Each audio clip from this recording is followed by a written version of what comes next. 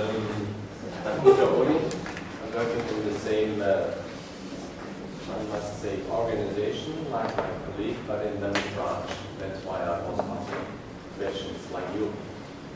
Um, maybe you have introduced me. I'm the, uh, the chair of the German, okay. of the German ISKO, and uh, I'm on the board of the uh, International ISKO Executive Secretary.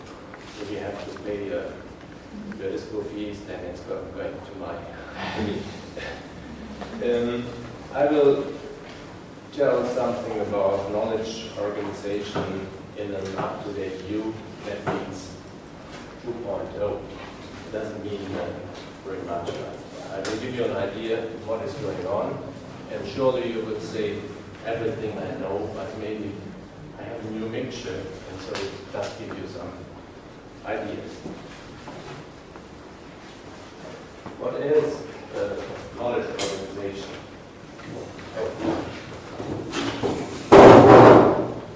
Knowledge organization is uh, the interdisciplinary science that uh, structures and arranges knowledge uni- units in it uh, develops classification systems, thesauri, and uh, other types of indexing languages, and uh, much uh, has to do with concepts and the proper definition of concepts.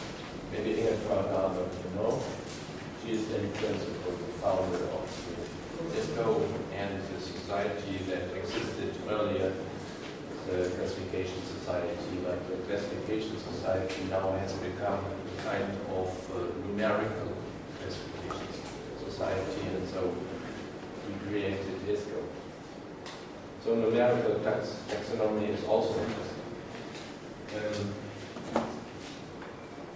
Ingetraut Dahlberg, she is also a kind of listing what is all is the subject area of knowledge organization. Not at least it's these are the elements and structures of system, of concept, concepts, but there's many going around, the philosophy and even the context, the periphery.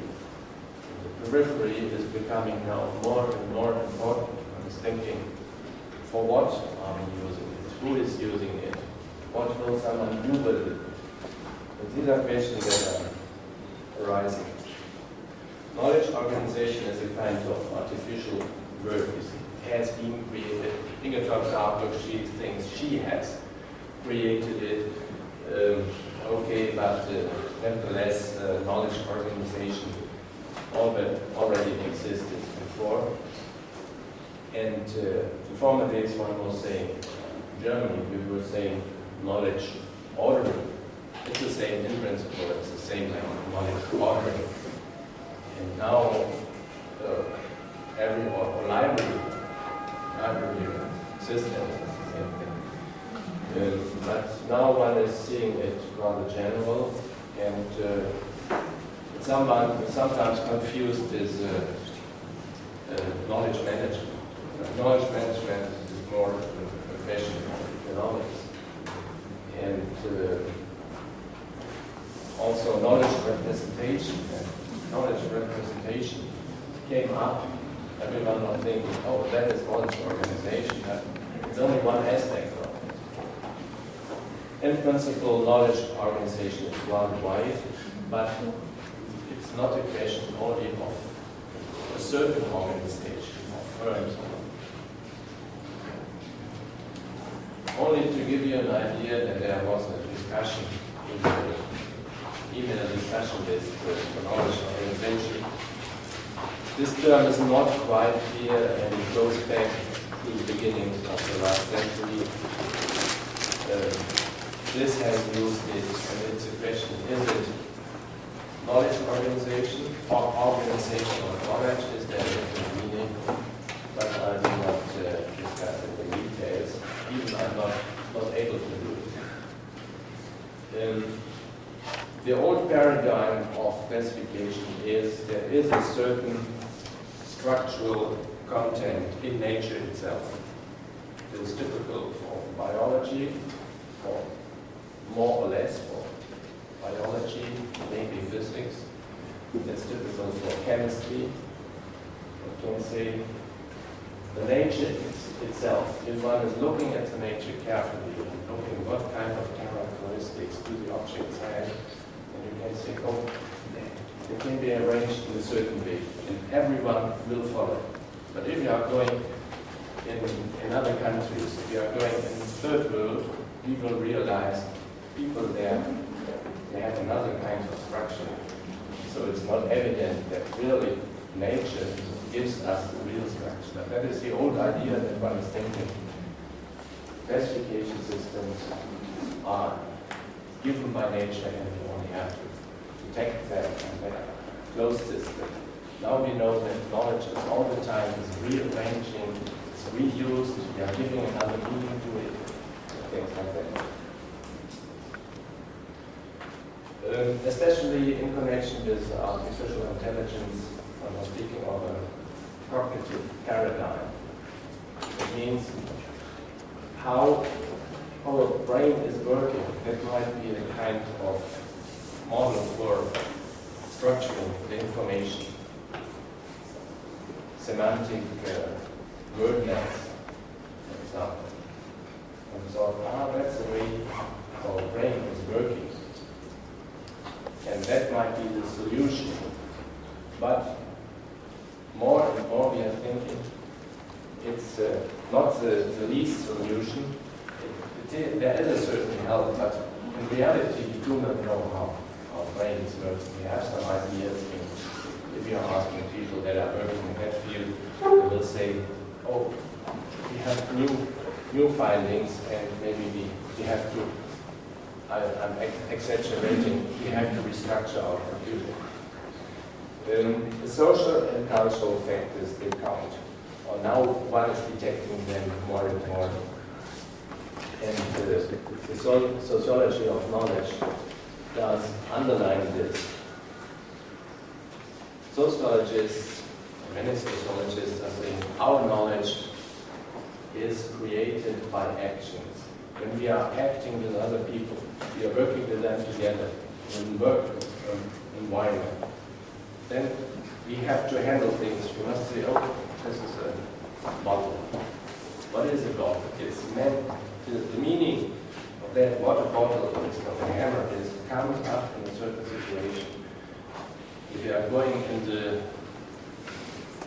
uh, in the jungle in Brazil, we are saying, oh, there's a bottle. You do not understand it. You think, oh, it's something other. I do not know what it is. It's a bottle or whatever.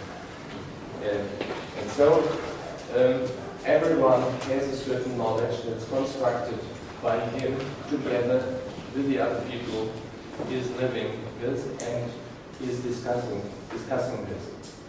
And this kind of knowledge gets structured, structured in the, in the beginning, beginning of our life when we are young, but then three years, five years, maybe somewhat later in the work environment, in principle, it's beginning earlier. And uh, maybe you know the sociologist Bourdieu, is saying we have a habitus that can't be changed. There, someone is coming from the working class, and we, he will make a career in the university, it might be very difficult.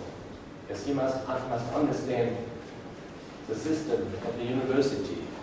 And his parents didn't give him the skills to understand how to position himself. It's not only a question of a form, question of, of working, of learning, question to know what means what and how can I position myself in that field.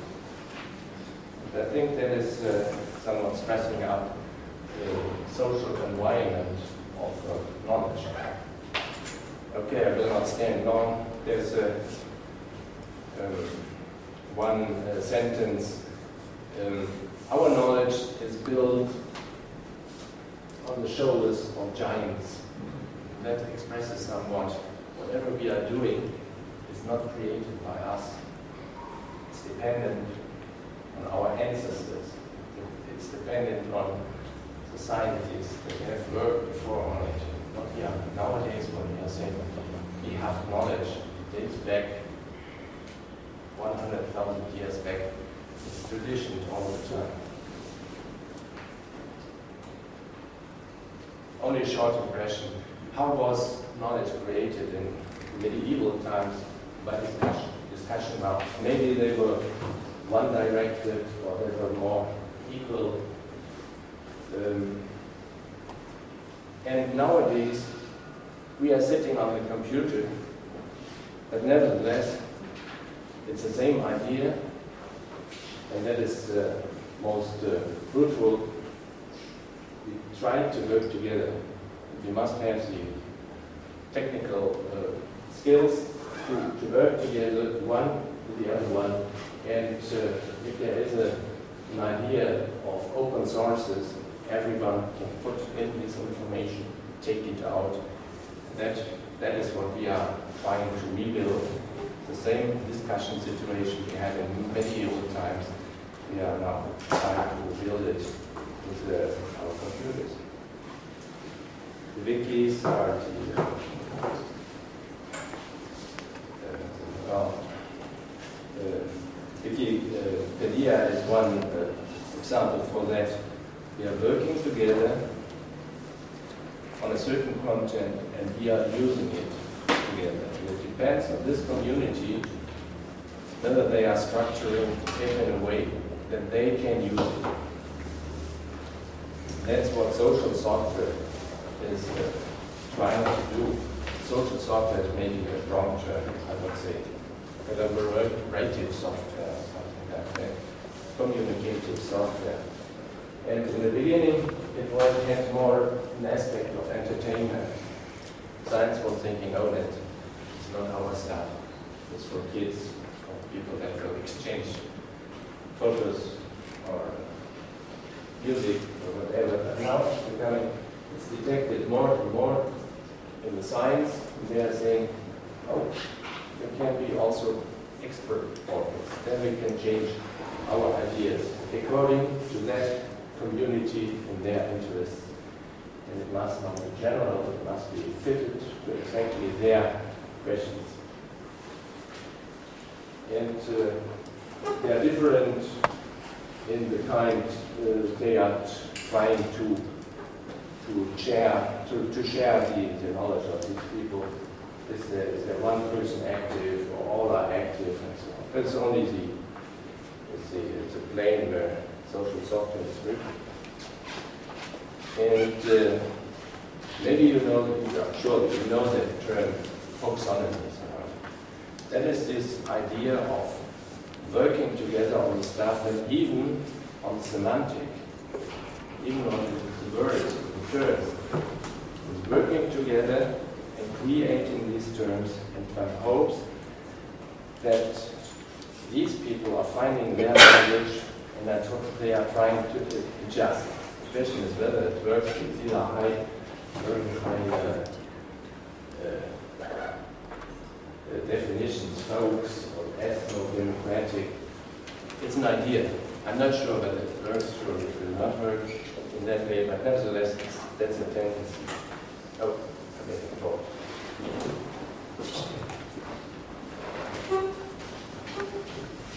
And uh, the 2.0 that I use is corresponding to the, the web terminology I was saying of web 2.0. In principle, it does not mean so much. Uh, the web itself, from the beginning, was created as many-to-many system. Everyone should participate, should be able to put his information in. Everyone should be able to take it out, but it took its time to be realized, and we are speaking of Web 2.0, it's uh, the question to integrate different services that are in principle not fitting perfectly. In former days, one had to decide, am I interested in books or am I interested in uh, articles or am interested in meetings? And now it's all mixed together. Different services I even can look for my flight and order it and things like that. And that 3.0, in, in principle, that 3.0 was a question Now, the so-called semantic the data web. And the question is how to combine all the different information we have in the web. No single record has all the information we need. It's distributed over different records and how to combine it, that we get one knowledge out of different sources. The first thing is that we have a physical connection. This is very ideal. There's one person in South America, and this person is communicating with someone in Spain, this one is communicating with someone in France or England. And that is very ideal, and it's only technical. You must have the technical needs for that, especially in science when we are working with many data, and everything must be very quick. So we, we want to have it online, on, in time, all the information. But nevertheless, there is a semantic background. And what we need is to have the same background. That's the question, can we achieve it by controlling, by standards, or can it be like the collective tagging? And can we have a kind of standardization for this collective tagging? And that might be the solution. At the moment, we can't see what's the solution. Only to, to give you an idea of the semantic web, you are getting your information from different uh, documents, you are combining together it in a logical way, and there's much, much below it of technical questions, but then the, the ontology, the logic of the knowledge, that is on the highest level, that is the real question we, we've not yet solved. And if one is speaking of interoperability, that's what we heard before from my colleague, the question of interoperability. How can you use different systems? It's not only a question, a technical question. The syntax must be must be compatible, but there are coming the semantic dimensions. But over the semantic semantic dimensions, you have the pragmatic aspect. And I said, if you are having this, using this bottle, if you are using a hammer, the other one must not only use the same term, he must have the same meaning. He must know what to do with it. Maybe if I'm asking for a hammer, maybe the X has the same function. Uh, I can't say that must be an X, it must be uh, hammer, it must be named hammer. It must have the same understanding and there are many dynamics, there are local differences, there are differences in, time, there are differences in habits and so on. All that must be calculated with. There's one initi initiative from IFLA um, on the functional requirements for bibliographic records. They try to get a description that is more flexible so that it can adapt to the, to the user and uh, they have different entity relationship descriptions for bibliographic records. And in England, there's the Network Knowledge Organization System Server or Service, and they discuss questions how to uh, get uh, a kind of working together of different knowledge organization systems. These are not only classification systems as we have seen in the lecture before.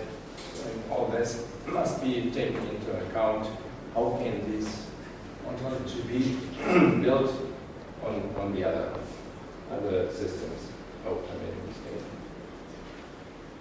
And at the moment, what is interesting, what seems to be very fruitful, are the simple knowledge organization systems, SKOS initiative.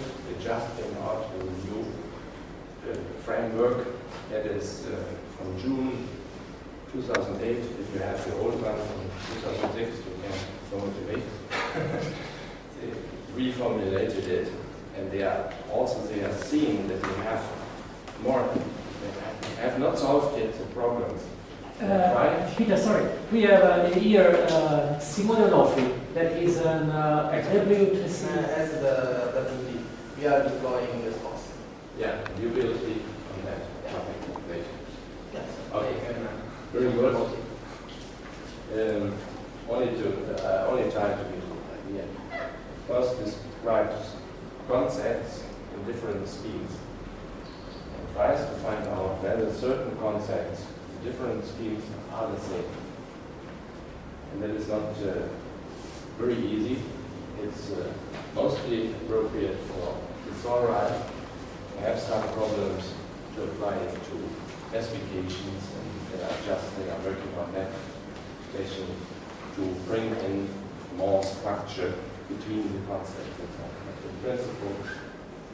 Every concept is described within its field so that you can technically, automatically understand what it means and switch from one semantic point to another semantic point.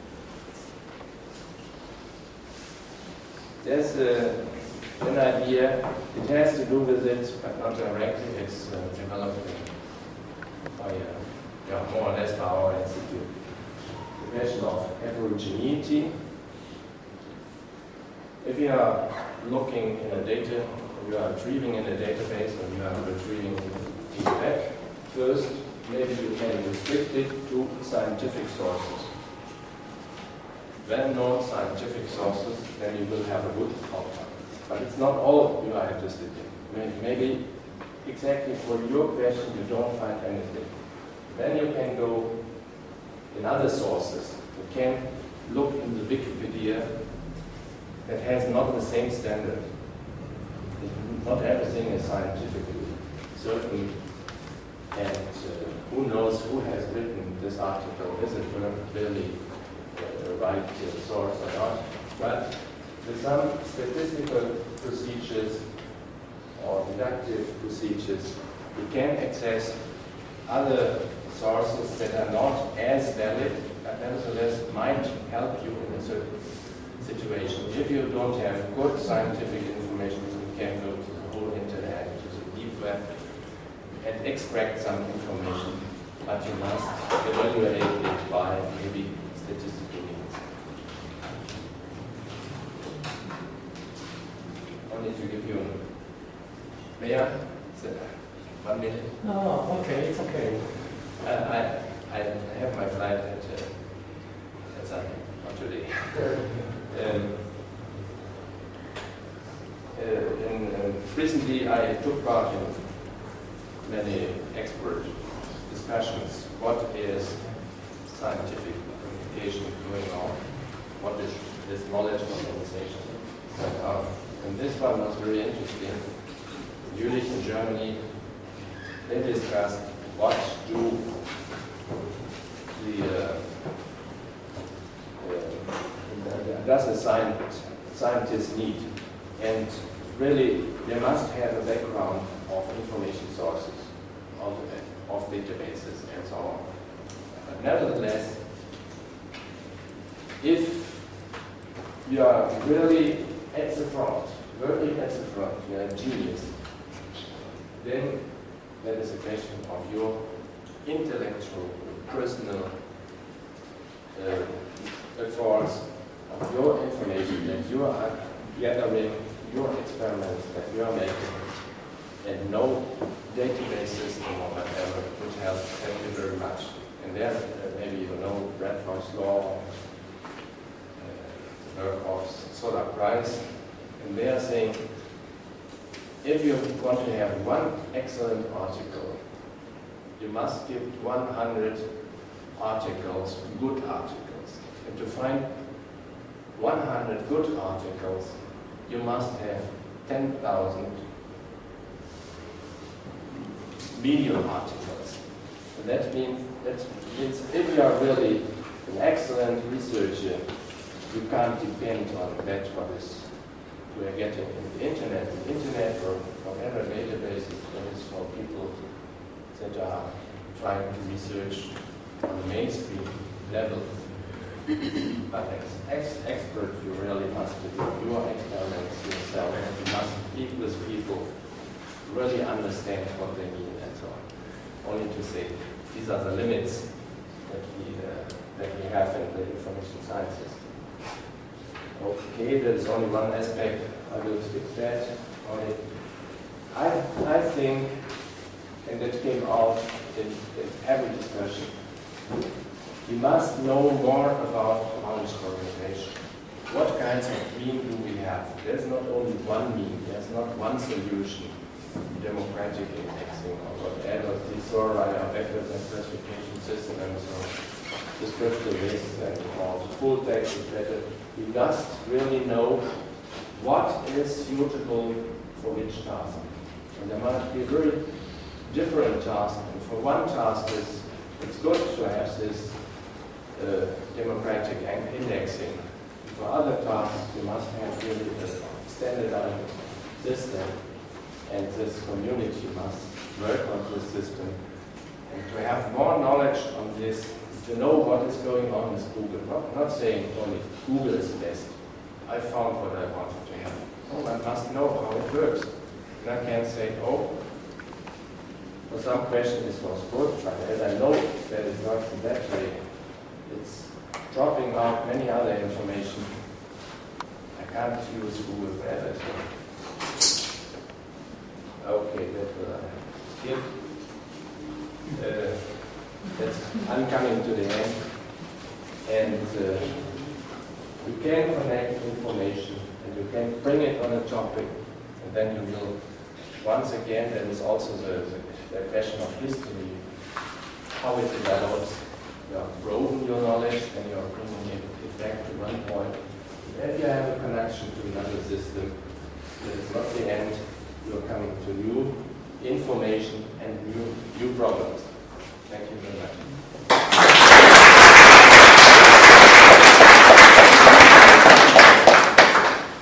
If you are interested in the slides, you can uh, get it from there. Questions? Questions? Comments? You have comments? You will. Uh, I will later on answer on the group, because I think the other lessons are in Italian. I must apologize. I can't speak uh, Italian. I would, but I can't. Uh, and then maybe you can keep up the discussion or stress out more the profit of those cost systems and what they not have yet, yet solved. Yeah, yeah, at, at the beginning, As Peter said, uh, SKOS uh, is a, a great project from W3C, and uh, it is more uh, interesting.